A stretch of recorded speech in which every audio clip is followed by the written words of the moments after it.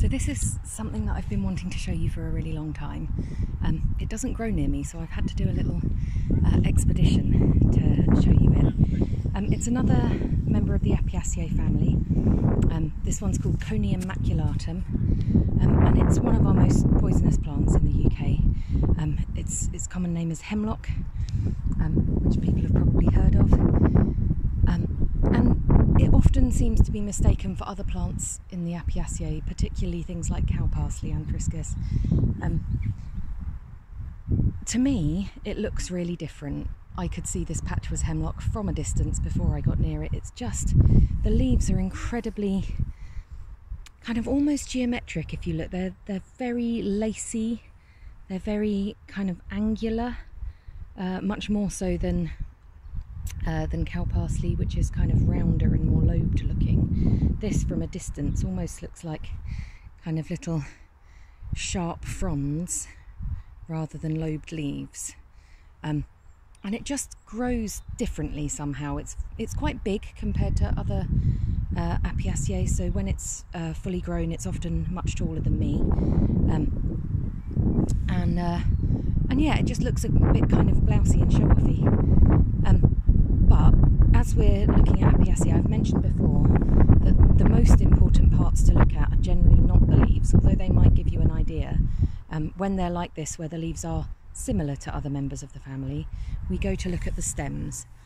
So if we go down here, and I'll just pull back some, some leaves for a good look. Can you see this?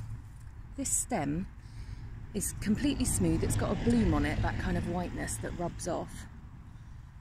Um, and it's green with red blotching or spots. It looks like someone's taken a paintbrush with red paint and flicked it on the plant. So where cow parsley will uh, will go in and out from purple colours to green colours, it'll kind of fade from one to the other. This is very definitely green background, flicks of red. Um, this is also completely smooth, um, no hairs, so uh, cow parsley always has hairs, um, sometimes more obvious than others. And something I'm going to do, I don't always because I can just tell you, but it's quite nice while we've got something that I don't see all the time here. We'll give it a cut. And it's very definitely hollow.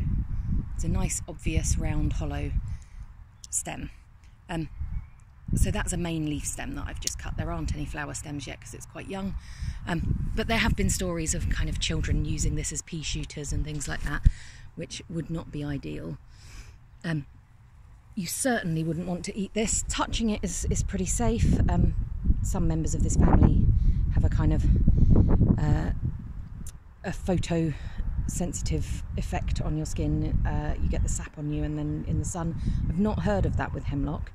Um, but if you want to be extra careful with this family, you can just, sorry, I'm trying to get it to focus as usual. If you want to be careful, you can just wear gloves when you're handling it. Um, one thing that I will say is that strimming this is an issue. The, the chemicals in it can become airborne if, if you do a lot of cutting all at once and breathe it in, so you wouldn't want to do that. Um, but yeah, I think that it's a nice easy one and that's probably enough that should you see something with a, a lovely round uh, smooth hairless stem with red blotches and these beautiful lacy lacy leaves you should now know that that's hemlock and you don't want to eat it. It is however one of my very favourite wild plants I think it's just beautiful possibly influenced by the fact I don't see it very often so I'm really enjoying having found it today. Um, do press like and subscribe uh, I'll be adding lots and lots more videos as we go through the growing season. I've already got a couple under my belt today. Um, and do enjoy your foraging and and yeah, being aware of what we don't want to forage is also very important.